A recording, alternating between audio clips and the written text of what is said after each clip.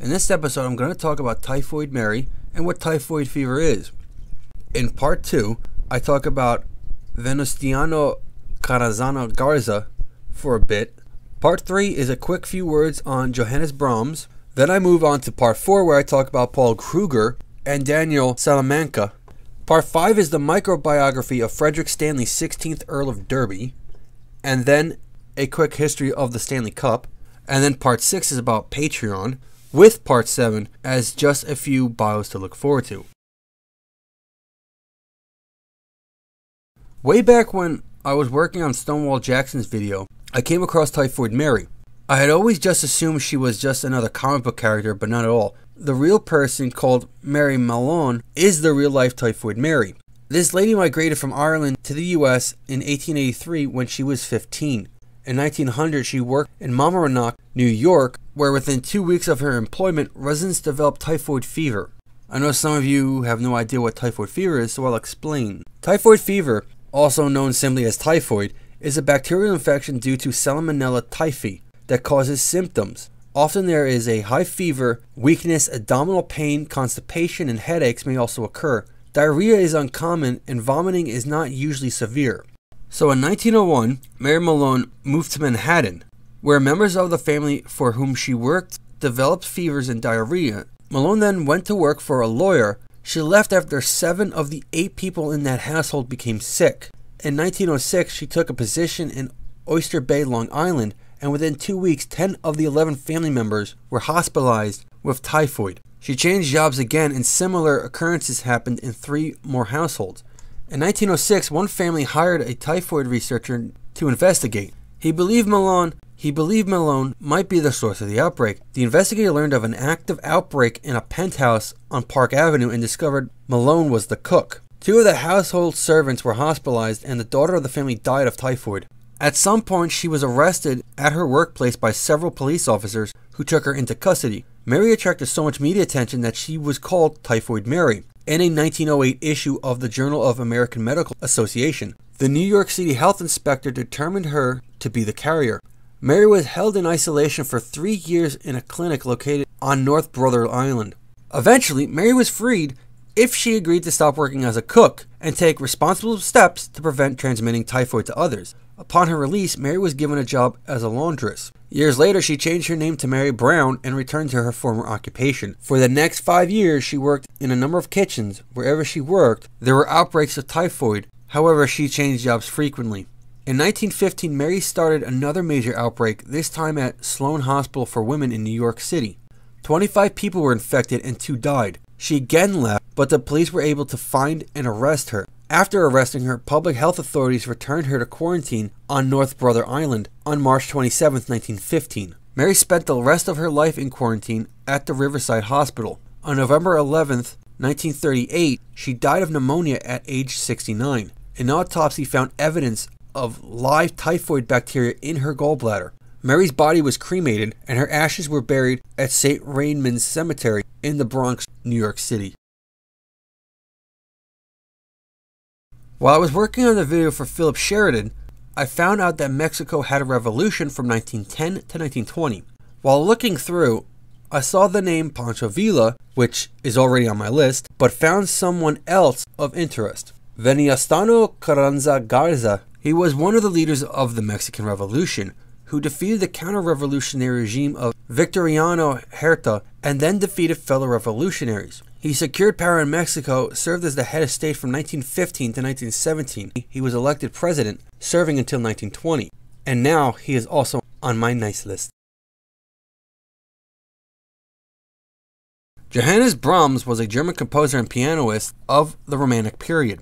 His reputation and status as a composer is such that he is sometimes grouped with Johann Sebastian Bach and Ludwig van Beethoven as one of the three Bs of music. Brahms has been considered by his contemporaries and later writers as both a traditionalist and an innovator.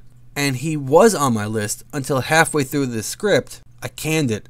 Whether or not you like his music, his personal life is rather boring, and that's the reason he was dropped from the list.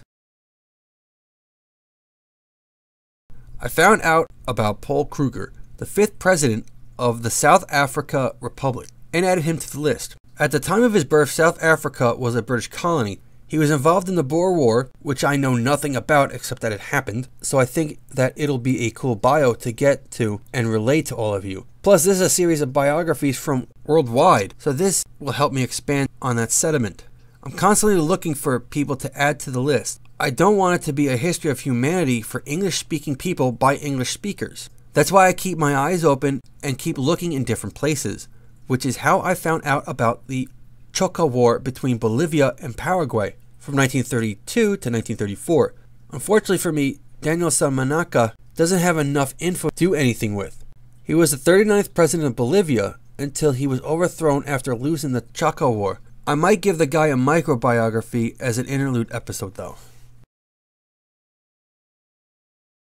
I had intended on doing a bio for Frederick Stanley, 16th Earl of Derby, but the bio wound up being three and a half pages long, and the minimum is five pages. I even tried adding filler about the Stanley Cup, but I retracted it since it's about the cup, not the namesake. So, without further ado, here is the bio for Lord Stanley, and then some info about the Stanley Cup. Frederick Arthur Stanley was the second son of the Prime Minister Edward Smith Stanley, 14th Earl of Derby. He was born in London, England, and was educated at Eton and Sandhurst. He received a commission in the most senior regiment of the British Army's Guards Division, the Grenadiers Guards, and rose to the rank of captain. Stanley married Lady Constance Villiers, daughter of the 4th Earl of Clarendon, on the 31st of May 1864. They had eight sons and two daughters, of whom one son and one daughter died as children. Stanley left the British Army for politics, serving as a Conservative Member of Parliament. In government, he served as a Civil Lord of the Admiralty. In 1868, Financial Secretary to the War Office from 1874 to 1878, Secretary to the Treasury in 1878, War Secretary from 1878 to 1880, and Colonial Secretary in 1885 and 1886. He served as President of the Board of Trade starting in 1886, remaining in that office until he was appointed Governor General of Canada on June 11, 1888. During his term as Governor General of Canada and Commander in Chief of Prince Edward Island, he traveled often and widely through the country. His visit to Western Canada in 1889 gave him a lasting impression of the region's great natural beauty, as well as permitting him to meet the people of Canada's First Nations and many Western ranchers and farmers. Stanley helped cement the non political role of the Governor General when, in 1891, he refused to agree to a controversial motion in the House of Commons. The motion called on him as Governor General to disallow the government of Quebec's Jesuit Estates Act, which authorized paying 400,000 Canadian dollars as compensation for land grants to the Jesuits by the King of France. Stanley declined to interfere, saying it was unconstitutional. In holding to that decision, he gained popularity by refusing to compromise the position of political neutrality. After Stanley was appointed by Queen Victoria as Governor General of Canada on June 11, 1888, he and his family became highly enthusiastic about ice hockey. Stanley was first exposed to the game at Montreal's 1889 Winter Carnival, where he saw the Montreal Victorias play the Montreal Hockey Club. The Montreal Gazette reported that he expressed his great delight with the game of hockey and the expertise of the players. Stanley's entire family became active in ice hockey. Two of his sons, Arthur and Algernon, formed a new team called the Ottawa Rideau Hall Rebels. Soon afterwards, Stanley purchased what is frequently described as a decorative punch bowl, but which silver experts identified as a rose bowl, made in Sheffield, England, and sold by London silversmith G.R. Collins and Company for 10 guineas. Stanley never saw a Stanley Cup championship game, nor did he ever present the cup. Although his term as Governor General ended in September 1893, he was forced to return to England on July 15th. In April of that year, his elder brother Edward Stanley, 15th Earl of Derby, died, and Stanley succeeded him as the 16th Earl of Derby. As a result, he left Canada on July 15th, 1893, and returned to England. Back with his family in England, he soon became the Lord Mayor of Liverpool and the first Chancellor of the University of Liverpool. In November 1901, Lord Derby was elected Mayor of Preston during the last years of his life, he increasingly dedicated himself to philanthropic work. In 1895, Queen's University was the first official challenger for the Stanley Cup, although it was controversial. The Montreal Victorias had won the league title and thus the Stanley Cup, but the challenge match was between the previous year's champion, Montreal Hockey Club, and the university squad. The trustees decided that if that if the Montreal Hockey Club won the challenge match, the Victorias would become the Stanley Cup champions. The Montreal Hockey Club won the match 5 to 1, and their crosstown rivals were crowned the champions. The first successful challenge to the cup came the next year by the Winnipeg Victorias, the champions of the Manitoba Hockey League. On February 14, 1896, Winnipeg defeated the champions 2 0 and became the first team outside the AHAC to win the cup. In 1908, the Allen Cup was introduced as a trophy for Canada's amateur hockey leagues, and the Stanley Cup started to become a symbol of professional hockey supremacy. Even though Frederick Stanley died on the 14th of June 1908, age 67, his wife Lady Derby later died on the 17th of April 1922. Prior to 1912, challenges for the Stanley Cup could take place at any time given the appropriate rink conditions, and it was common for teams to defend the Cup numerous times during the year. In 1912, Cup trustees declared that it was to be defended only at the end of the champion team's regular season. In 1919, the Spanish influenza epidemic forced the Montreal Canadiens and the Seattle Metropolitans to cancel their series, marking the first time the Stanley Cup was not awarded. Since 1926, no NHL team has played for the Cup, leading it to become the de facto championship trophy for the NHL. In addition, with no major professional hockey league left to challenge it, the NHL began calling its league championship the World Champions. The Stanley Cup was awarded every year until 2005 when a labor dispute between the NHL's owners and the NHL Player Association led to the cancellation of the 2004 2005 season. As a result, no Cup champion was crowned for the first time since the flu pandemic of 1919.